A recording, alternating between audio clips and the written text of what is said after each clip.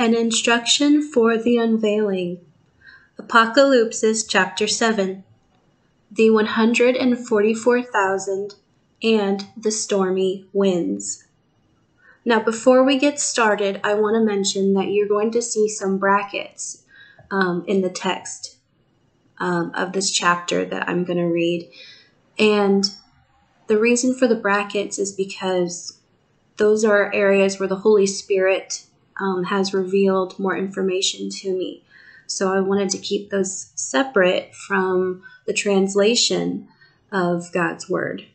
Okay, let's get into it now.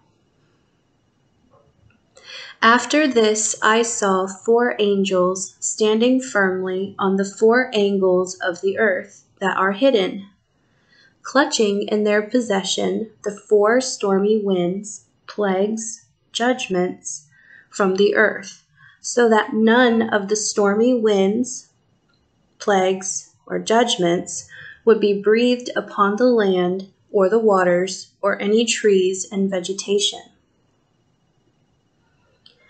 Then I saw another angel rising up from the sunrise, who was holding Yahweh's signet ring of life.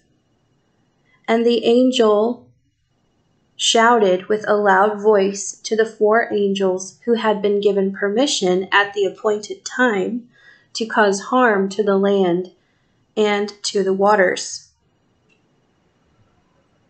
And he shouted, Do not cause harm to the land or the waters or the trees and vegetation until we have finished stamping with the seal of ownership and security the foreheads beyond the eyes in the minds of those who are the chosen servants of our Yahweh.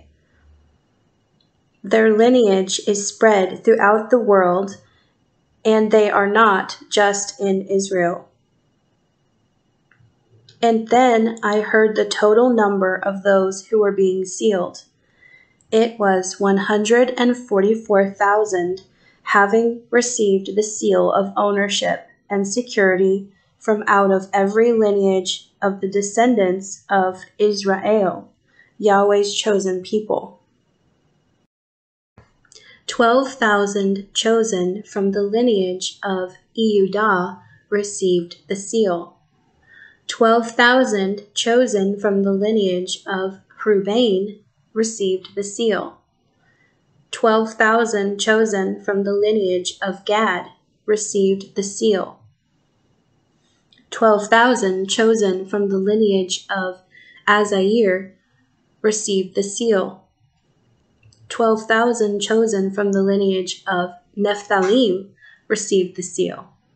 12,000 chosen from the lineage of Manasseh received the seal.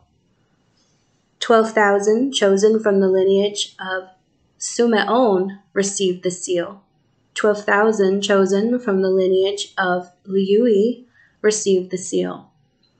12,000 from the lineage of Issachar received the seal.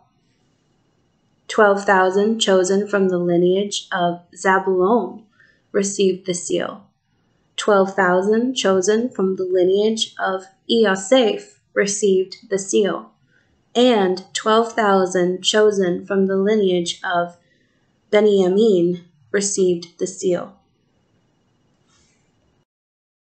After this I looked, and in amazement I saw a huge crowd of people, the total no one would be able to count, from every race and nation, and from every lineage and people and language from the earth, who were now standing before the great throne of ruling power and before the Lamb. And they were clothed with long, flowing, dazzling white robes and were holding palm tree branches in their hands. And they were shouting out with deep emotion and a loud voice, saying, Our deliverance and salvation comes from our Yahweh, the one sitting on the throne of ruling power, and from the Lamb. All the angels also stood around the throne, and all the elders of council, and the four living beings and they all fell prostrate on their faces before the throne of ruling power, and they worshipped Yahweh, saying, Truly, truly, let it be, blessing and honor and divine intelligence and thankfulness and great value and marvelous works of power and strength are for our Yahweh for all of the ages of time and for all eternity. Truly, truly, so let it be. Then one of the elders of council took up conversation with me and said, These people you see wearing the flowing robes of dazzling white. Do you know who they are and where they came from? And I responded to him and said, Teacher, you are the one who knows and understands. Then he said to me, These people are the ones who have come out of the great and terrible time of distress and affliction, and they have cleansed their robes in righteousness, reflecting the character of Yahweh. And they have made them white with purification and the shed blood of the Lamb those who the hundred and forty-four thousand, the chosen harvest workers, will teach and preach to during the three and a half years of the stormy winds, or the time of the plagues and afflictions, which must take place to bring in Yeshua's harvest.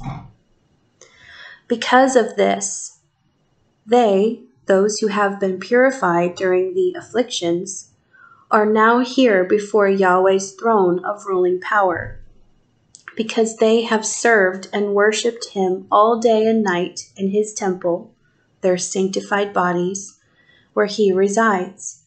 And so the one sitting on the throne of ruling power has set up his tent over them. Now they will never starve for food again, or be thirsty again, and the hot sun will not be pressed down on them again, or any scorching heat. These are some of the afflictions of the three and a half years of harvest.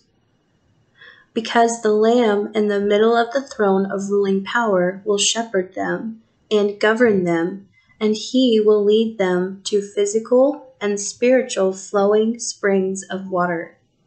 And Yahweh will totally wipe away all their pain and every tear from their eyes.